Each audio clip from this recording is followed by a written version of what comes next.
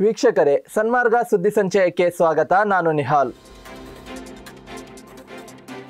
ಕೊರೋನಾದಿಂದಾಗಿ ಶಿಕ್ಷಣ ಇಲಾಖೆಯು ಈ ಬಾರಿಯ ದ್ವಿತೀಯ ಪಿಯುಸಿ ಪರೀಕ್ಷೆ ರದ್ದುಗೊಳಿಸಿದೆ. ದ್ವಿತೀಯ ಪಿಯುಸಿ ಫಲಿತಾಂಶವೂ ಬಂದಿದೆ. ಆದರೆ ಕೆಲ ವಿದ್ಯಾರ್ಥಿಗಳು ಈಗ ಪ್ರಕಟವಾಗಿರುವ ದ್ವಿತೀಯ ಪಿಯುಸಿ ಫಲಿತಾಂಶವನ್ನು ತಿರಸ್ಕರಿಸಿದ್ದಾರೆ. ಅಂಥವರಿಗೆ ಆಗಸ್ಟ್ ಹತ್ತೊಂಬತ್ತಕ್ಕೆ ಪರೀಕ್ಷೆ ನಡೆಸಲು ತೀರ್ಮಾನಿಸಲಾಗಿದೆ. ಜುಲೈ ಇಪ್ಪತ್ತರಂದು ದ್ವಿತೀಯ ಪಿಯು ಫಲಿತಾಂಶವನ್ನು ಪ್ರಕಟ ಮಾಡಲಾಗಿದೆ. ಫಲಿತಾಂಶಕ್ಕೂ ಮೊದಲು ಪಿಯು ಬೋರ್ಡ್ ವಿದ್ಯಾರ್ಥಿಗಳಿಗೆ ಸೂಚನೆಯೊಂದನ್ನು ನೀಡಿದೆ. ಫಲಿತಾಂಶವನ್ನು ತಿರಸ್ಕರಿಸುವ ವಿದ್ಯಾರ್ಥಿಗಳಿಗೆ ಆಗಸ್ಟ್ ತಿಂಗಳಲ್ಲಿ ಮತ್ತೆ ಪರೀಕ್ಷೆ ನಡೆಸಲಾಗುತ್ತದೆ ಎಂದು ತಿಳಿಸಿತ್ತು. ಇದೀಗ ರಾಜ್ಯದಾದ್ಯಂತ ಎಂಟುನೂರ ಎಪ್ಪತ್ತೆಂಟು ವಿದ್ಯಾರ್ಥಿಗಳು ಶಿಕ್ಷಣ ಇಲಾಖೆ ನೀಡಿದ ಫಲಿತಾಂಶವನ್ನು ತಿರಸ್ಕರಿಸಿದ್ದಾರೆ.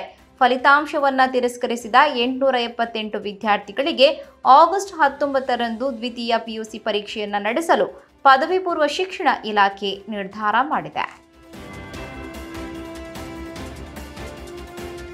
ಬಿಜೆಪಿ ನಾಯಕರು ತಮ್ಮ ವಿರುದ್ಧದ ಮಾನಹಾನಿಕರ ವಿಡಿಯೋ ಪ್ರಸಾರಕ್ಕೆ ತಡೆಯಾಜ್ಞೆ ತರುತ್ತಿರುವುದನ್ನು ಗೇಲಿ ಮಾಡಿರುವ ಮಾಜಿ ಮುಖ್ಯಮಂತ್ರಿ ಸಿದ್ದರಾಮಯ್ಯ, ಇದು ಬಿಜೆಪಿ ಸಂಸ್ಕೃತಿಯ ಅಸಲಿಯತ್ತು ಎಂದು ವ್ಯಂಗ್ಯವಾಡಿದ್ದಾರೆ. ಸುಸಂಸ್ಕೃತರ ಸಂಭಾವಿತರ ಪಕ್ಷ ಎಂದು ತಮ್ಮನ್ನು ತಾವು ಕರೆದುಕೊಳ್ಳುವ ಬಿಜೆಪಿಯಲ್ಲಿ ಒಬ್ಬರಾದ ಮೇಲೆ ಒಬ್ಬರು ಮಾನಹಾನಿಯಾಗುವಂತಹ ವಿಡಿಯೋ ಪ್ರಸಾರ ಮಾಡದಂತೆ ನ್ಯಾಯಾಲಯದಿಂದ ತಡೆಯಾಜ್ಞೆ ತರುತ್ತಿದ್ದಾರೆ. ಇದು ಬಿಜೆಪಿಯವರ ಸಂಸ್ಕೃತಿಯ ಅಸಲಿಯತ್ತು ಎಂದು ಟ್ವೀಟ್ ಮಾಡಿದ್ದಾರೆ. ಸದಾನಂದ ಗೌಡ ಮುರುಗೇಶ್ ನಿರಾಣಿ, ರೇಣುಕಾಚಾರ್ಯ ಮತ್ತು ಕಾಂಗ್ರೆಸ್ ಜೆಡಿಎಸ್ ಸರ್ಕಾರ ಉರುಳಿಸಿ ಬಿಜೆಪಿ ಸೇರಿದ ಕೆಲ ನಾಯಕರು ಸಹಿತ ಹಲವು ಮಂದಿ ತಮ್ಮ ವಿರುದ್ಧದ ಮಾನಹಾನಿಕರ ವಿಡಿಯೋ ಪ್ರಸಾರಕ್ಕೆ ನ್ಯಾಯಾಲಯದಿಂದ ಈಗಾಗಲೇ ತಡೆಯಾಜ್ಞೆ ತಂದಿದ್ದಾರೆ. ಇದನ್ನೇ ಸಿದ್ದರಾಮಯ್ಯ ಪ್ರಶ್ನಿಸಿದ್ದಾರೆ. ರಾಜ್ಯ ಬಿಜೆಪಿ ಶಾಸಕರು ಬೆಂಗಳೂರಿನಲ್ಲಿ ಠಿಕಾಣಿ ಹೂಡಿ ಮಂತ್ರಿ ಪದವಿಗಾಗಿ ಲಾಬಿ ಮಾಡುತ್ತಿದ್ದಾರೆ. ಒಬ್ಬ ಶಾಸಕನು ಕ್ಷೇತ್ರಕ್ಕೆ ಹೋಗಿ ಕೆಲಸ ಮಾಡುತ್ತಿಲ್ಲ.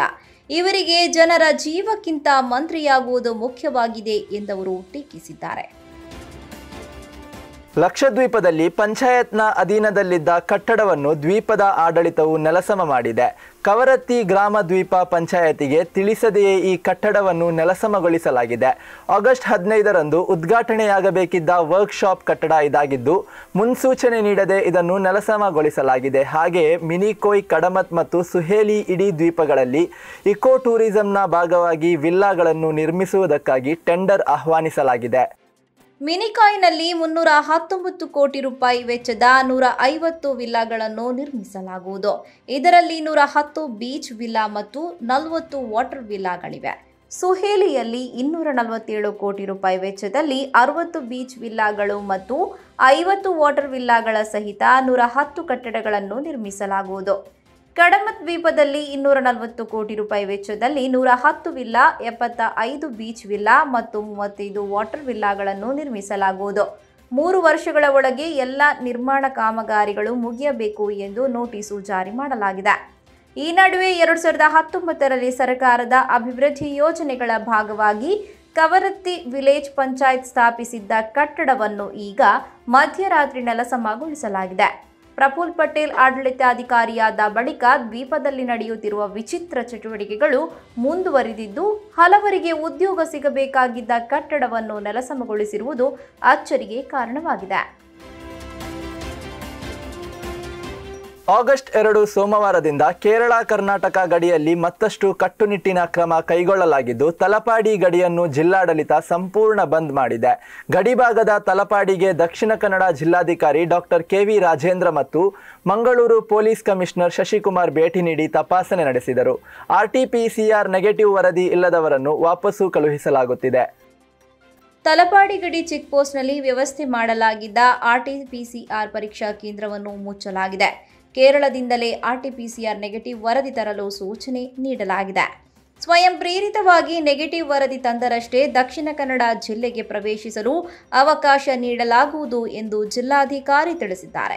ಈ ನಡುವೆ ಗಡಿ ಭಾಗದ ಚೆಕ್ ಪೋಸ್ಟ್ನಲ್ಲಿ ಪರೀಕ್ಷಾ ಕೇಂದ್ರ ಮುಚ್ಚಿರುವುದರಿಂದ ತಪಾಸಣೆಗಾಗಿ ಗಡಿಯಲ್ಲಿ ಸಾಲುಗಟ್ಟಿ ನಿಂತಿದ್ದ ಜನರು ಅಸಮಾಧಾನ ವ್ಯಕ್ತಪಡಿಸಿದ್ದಾರೆ. ಏಕಾಏಕಿ ಟೆಸ್ಟಿಂಗ್ ಸ್ಥಗಿತಗೊಳಿಸಿದ್ದು ಸರಿಯಲ್ಲ ಎಂದು ದೂರಿದ್ದಾರೆ.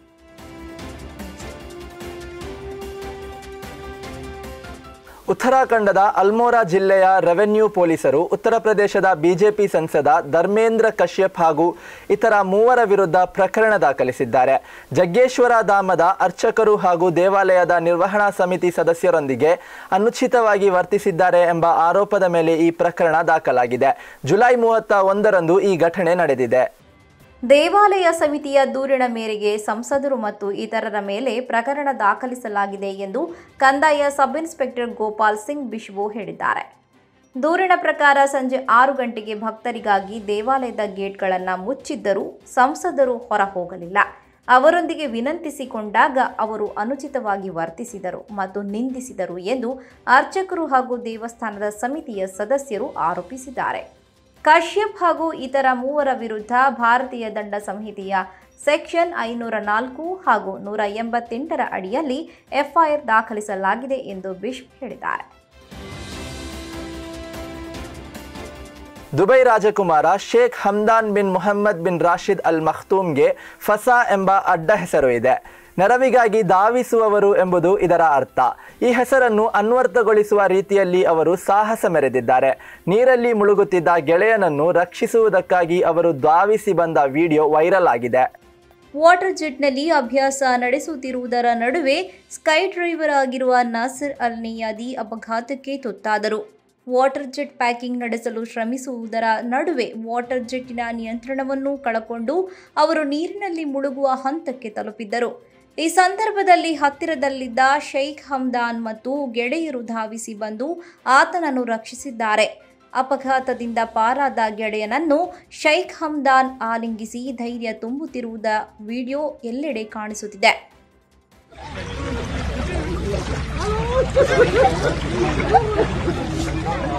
ಅಪಘಾತದಿಂದ ಪಾರಾದ ಗೆಳೆಯನನ್ನು ಶೈಖ್ ಹಮ್ದಾನ್ ಆಲಿಂಗಿಸಿ ಧೈರ್ಯ ತುಂಬುತ್ತಿರುವುದು ವಿಡಿಯೋದಲ್ಲಿ ಕಾಣಿಸುತ್ತಿದೆ.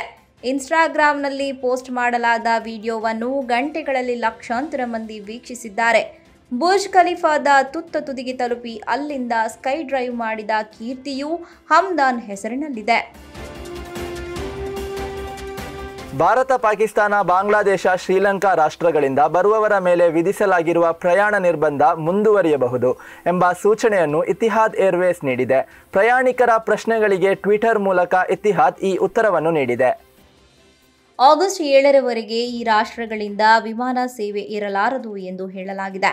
ಆದರೆ ಪರಿಸ್ಥಿತಿಯನ್ನು ಅನುಸರಿಸಿ ಸರ್ಕಾರ ತೀರ್ಮಾನ ಕೈಗೊಳ್ಳಲಿದ್ದು, ಆಗಸ್ಟ್ ಏಳು ದಿನಾಂಕವನ್ನು ಇನ್ನಷ್ಟು ಮುಂದೂಡುವ ಸಾಧ್ಯತೆ ಕೂಡ ಇದೆ ಎಂದು ಇತಿಹಾದ್ ತಿಳಿಸಿದೆ. ಆಗಸ್ಟ್ ಏಳರವರೆಗೆ ವಿಮಾನ ಸೇವೆ ಇಲ್ಲ ಎಂದು ಈಗಾಗಲೇ ಎಮಿರೇಟ್ಸ್ ತಿಳಿಸಿದೆ.